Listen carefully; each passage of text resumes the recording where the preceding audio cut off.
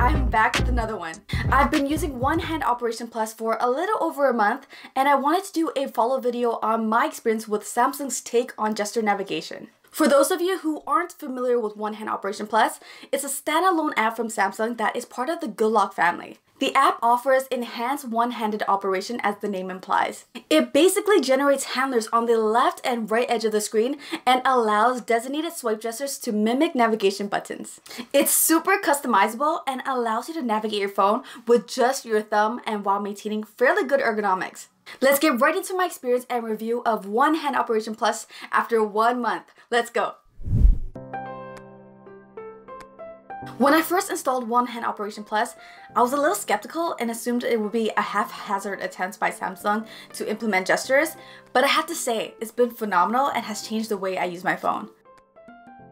I was actually playing around with the Note 9 while I was at the Samsung Experience store and kept trying to swipe to navigate around the phone.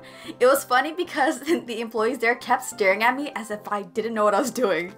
Once you get used to the navigation gestures, it's actually quite hard to go back to buttons. This is especially true for larger phones since reaching for the recent keys is quite a stretch for those with smaller hands.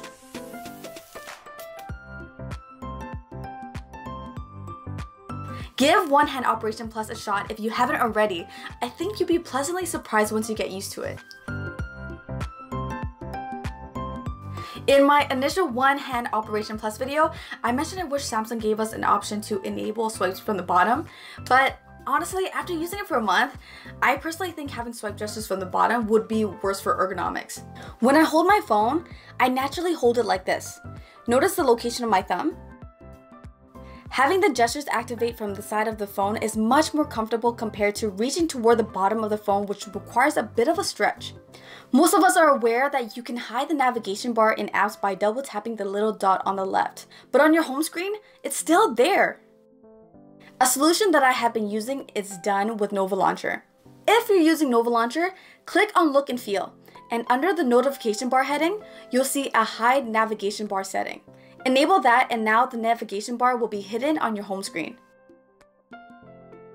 Swiping up from the bottom will bring up the navigation bar. Bringing down the notification shade also brings it up, but for the most part, it's no longer visible. The capacitive home button is still functional in case you were wondering.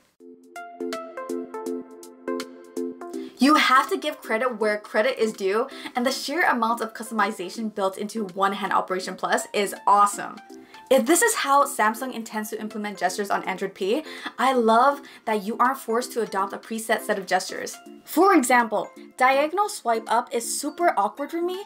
If I was forced to use that gesture, I would probably be sitting here with a totally different experience. Thankfully, since each gesture can be customized, I have both the diagonal swipes set to do nothing. You can adjust the handler's transparency, change their size, adjust vibration level when a gesture is registered, the options are great.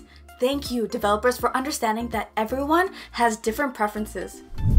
In conclusion, One Hand Operation Plus and Navigation Gestures gets two thumbs up from me. The app has been updated multiple times since its release, which shows that Samsung is taking it seriously and wants to continue to improve it. One of my biggest complaints was that the gestures didn't work when in the landscape orientation, but that was fixed in the last update. Are you using One Hand Operation Plus? If yes, what has your experience with it been like? Let me know in the comment section. Until the next one, peace. Bye!